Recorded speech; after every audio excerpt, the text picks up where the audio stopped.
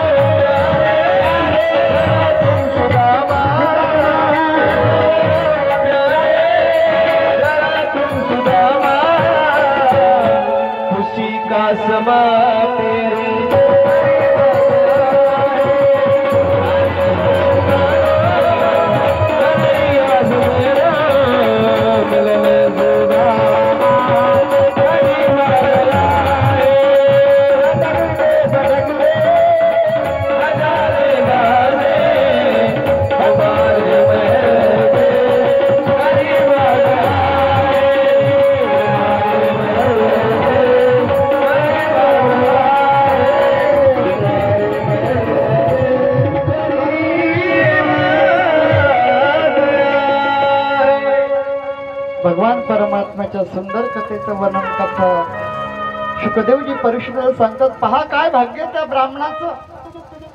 की भगवान परमात्म्याला त्या ठिकाणी भगवान परमात्म्याने त्या सुदामजीला बसवलं पहा बरोबर में आपण सुदामा बिठाए चरणा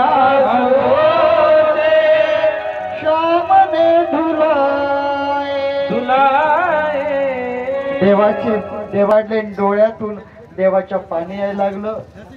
चरण श्यामने धुलाए त्यानंतर भगवान परमात्मा सुदामाला म्हणतात न घबराओ प्यारे जरा तुम सुदामा. खुशी का समा?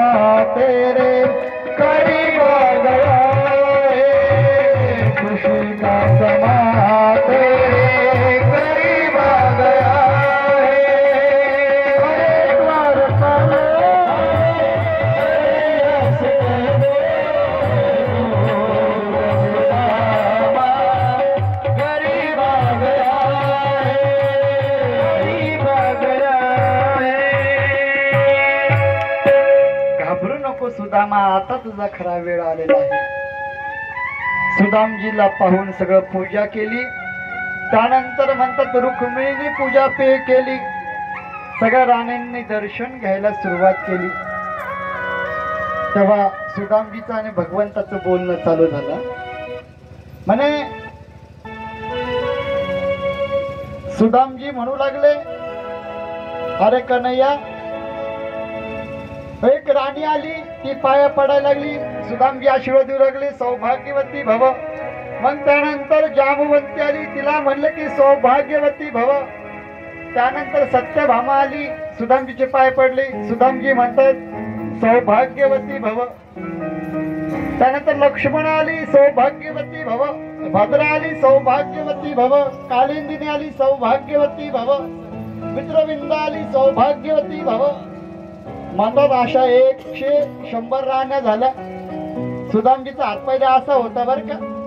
मग असा धरला. मग असं स्टँड लावलं. तरी राण्या संपला. सुदामजी म्हणतात कृष्णाला कन्हैया ह्या आपल्याच एक. आजूबाजूच्या महात्मा आले म्हणून पाय पडायला आल्या. कृष्ण म्हणाला अजून बाकीच्या तर बाकी म्हणे. या आपल्या घरच्याच चालू अजून त्याच संपलं नाही.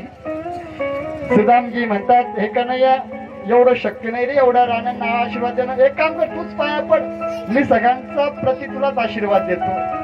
मातांना लक्ष द्या. हे सौभाग्य भारतातल्या साधू संतांचं की देवालाही आशीर्वाद देण्याची ताकद त्यांच्यामध्ये. देवाने आशीर्वाद घेतले पाया पडायला लागले सुदामजीने आशीर्वाद द्यायला सांगितलं. विप्र प्रसाद धरणी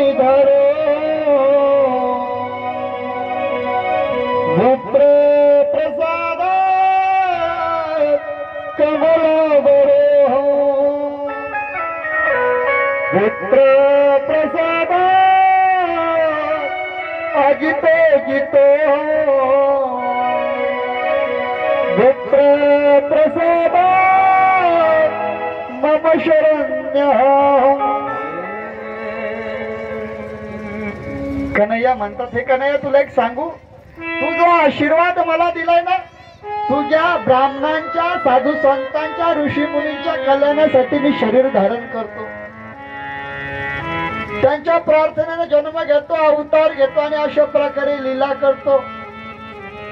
आता या दोघांची मजाक सुरू झाली तेव्हा कृष्णाला कृष्णाने विचारलं का हे सुदामा मला वहिनी आहे का? तुझं लग्न झालं का? सुदामजी म्हणतात हो आहे ना. तिचं नाव सुशीला आहे. म्हणे अच्छा मी यासाठी विचारलं म्हणे की मला वहिनी आहे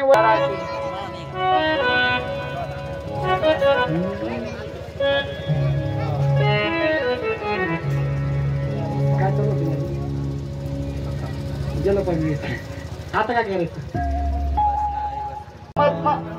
तर त्या ठिकाणी रुक्मिणी म्हणे की तुम्ही तिसऱ्या खाऊन आम्हालाही दान करता की काय? रुक्मिणीने ते सगळे पोहे घेतले सगळ्या राणांना वाटले. राणांना वाटले आणि सगळीकडं हे झाले. भगवान परमात्म्याने एक दोन मुठ पोहे खाल्ले त्या मुठीमध्ये सगळं गाव सोन्याचं करून टाकलं. म्हणून ब- मु- मुठभर पोयासाठी सगळं गाव आज सोन्याचं केलेलं आहे. पिढीला